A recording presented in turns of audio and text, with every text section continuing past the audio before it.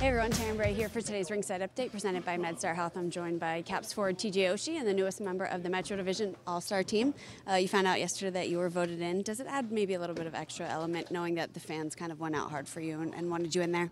Yeah, I think so. I think it, uh, you know, it almost makes it more special. I think guys kind of that, with my role and especially on, on a team like this with a, a bunch of superstars, um, it's, uh, it's I think probably the coolest way to to go to the All Star game to get voted in by the fans. Fans have always been so good to me uh, my entire NHL career and dating back to high school and college. So, um, you know, I really appreciate everyone going out there and taking time out of their day to put in their 10 votes and uh, get me to the game.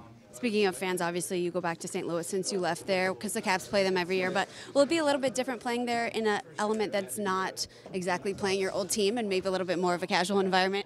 Yeah, I think so. I think uh, I'm not really sure how All Stars all Star games work. I'm, I'm, I'm hoping that uh, you know the St. Louis training staff is there, so I get to say hi to all those guys and um, just a lot of people there that were really good to me over the years. Uh, it'll be good to go back in a little bit more of a laid back experience and uh, you know just have some fun and and get some more uh, quality time to catch up with everyone.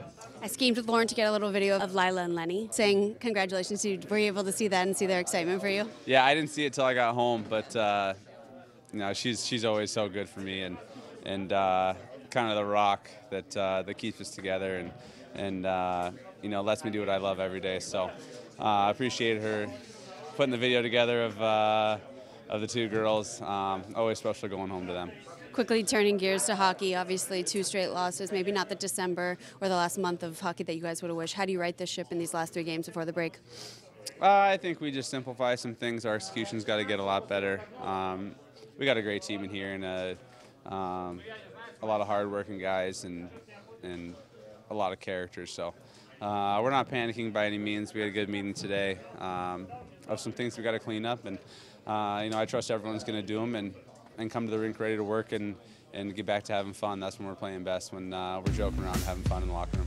Thanks for the time and congratulations again. That was today's Rinkside Update. Let me know if you ready to get